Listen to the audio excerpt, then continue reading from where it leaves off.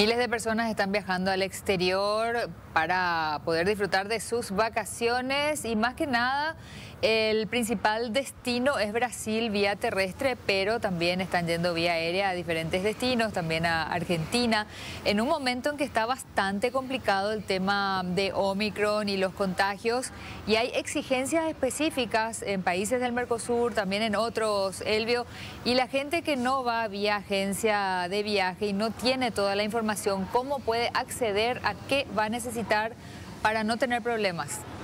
Sí, muchos de nuestros compatriotas lo están haciendo en sus vehículos particulares.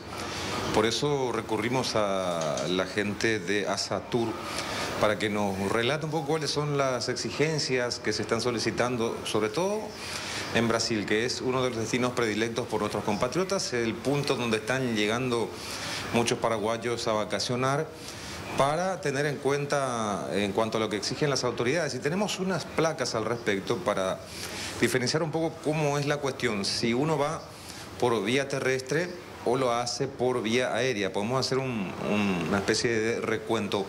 Si uno va a Brasil por tierra, certificado de vacunación contra el COVID-19, más el certificado de vacunación fiebre amarilla, que es otro de los puntos que exigen allí en el vecino país. Si lo va a hacer por vía aérea, certificado de vacunación, también certificado de vacunación contra la fiebre amarilla, análisis de PCR y para el regreso la cuestión del antígeno o PCR para ingresar al país, a tener en cuenta también eso eh, en los costos de la gente. Y para ingresar al país también se va a solicitarle a la persona la declaración jurada. Y, para los países fuera del Mercosur, si uno está volviendo de países de fuera del Mercosur, se requieren también al regreso una cuarentena de cinco días y el análisis de PCR en ese número de días, teniendo en cuenta el día en que se hizo la última toma en el otro país en donde estuvo y a partir de allí hacer el recuento de los siguientes cinco días ya en nuestro país para solicitar la segunda toma de PCR y allí confirmar que efectivamente no se está incubando, no se está atravesando por el estadio de la enfermedad. Es sobre lo que se conversó con Carlos Cardoso, que es el presidente de Asatur. Es importante aclarar en el caso diferenciar irnos vía terrestre o vía aérea, ¿verdad? Comenzamos por la vía más usual que es la vía terrestre.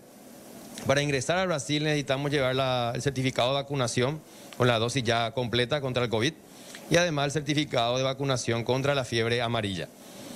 En el caso de vía aérea, a estos requisitos recién mencionados se le suma el, test de PCR netamente esa, esa documentación para viajar al, Brasil, Freddy. Ahora, eh, me quiero ir a Estados Unidos, Europa, Caribe, ¿qué tengo que llevar? Lo principal es qué, destino, ¿verdad? En Europa principalmente está aún, algunos países aún se encuentran cerrados, ¿verdad? Por eso es importante aclarar el más usual que es España. Necesitamos llevar certificado de, vacunación, así también Estados Unidos precisa el certificado de documentación y un test de, de PCR. Caribe. Caribe, lo que es los destinos más usuales para el paraguayo, que es Cancún, en México, Punta Cana, en República Dominicana, está bastante abierto.